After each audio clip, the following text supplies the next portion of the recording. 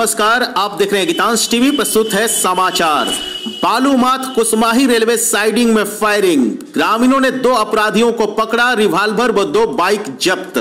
बालूमाथ थाना क्षेत्र के कुसमाही रेलवे साइडिंग में रविवार के सुबह छह बजे अज्ञात अपराधियों ने फायरिंग कर दहशत फैलाने की कोशिश की। ग्रामीणों ने दो अपराधियों को दौड़ाकर हथियार समेत मोटरसाइकिल पकड़ लिया है। बाकी चार अपराधी भागने में सफल हुए हैं। ग्रामीणों के अनुसार रविवार के सुबह दो बाइक से हेमपुर मार्ग से रेलवे साइडिंग में पहुँचे और दो मोटरसाइकिल को घर के समीप खड़ा कर दिया और तीन भाग में बट गए। के है दो बाइक से आया और गाड़ी का नंबर प्लेट एक गाड़ी का उल्टा साइड लगाया है और एक में नंबर नहीं था।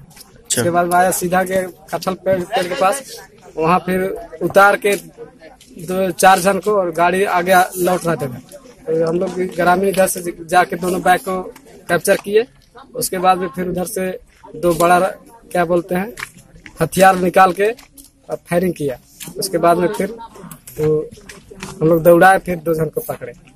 उसके बाद पुलिस को सूचना दी हाँ? उसके बाद फिर पुलिस को सूचना दिए पुलिस आके अपना लोगों को पकड़ के ले गई। लोगों को पकड़े गए लोगों के साथ मारपीट भी किए? हाँ मारपीट किया क्या बताया वो लोग कुछ नहीं बता रहा। कोई संगठन का नाम ले रहा था क्या? नहीं बता रहा। उतना मार में भी नहीं बताया।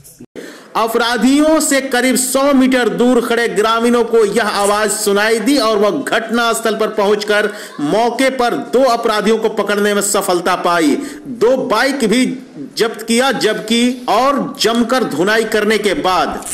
दो बाइक भी जब्त की, साथ ही जमकर धुनाई करने के बाद बालूमाथ थाना पुलिस को सुपुर्द कर दिया।